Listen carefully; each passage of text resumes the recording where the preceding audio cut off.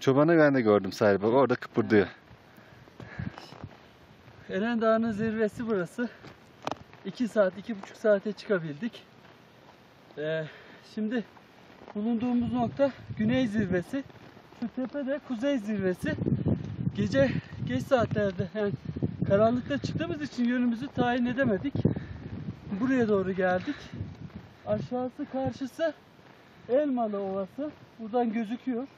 Hatta Yuva oradaki göl gibi yer var. Daha böyle beriye geldiğimizde Girdev Gölü var. Orada su var, göl falan var. Önceden su yoktu, kapatmışlar.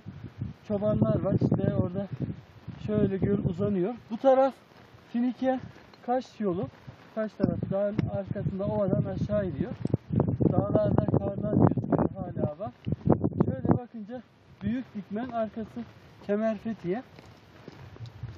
Bu taraf Ören tarafı.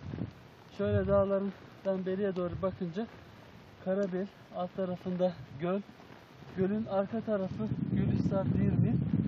Şu ovada Seki Ovası. Aşağıda çoban koyunları, eşek var.